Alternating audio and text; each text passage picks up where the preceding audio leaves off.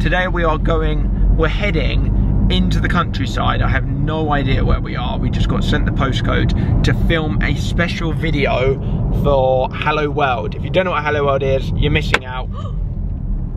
what the heck was that? It must have been a conker. Oh my god, that scared the heck out of me. And I got that on camera. Literally just thought like, Something like Woo! Did it leave a, did it it hit it? on here. No. You can probably see it in the vlog. It's all Look. fine. I bet you can probably see it in the vlog.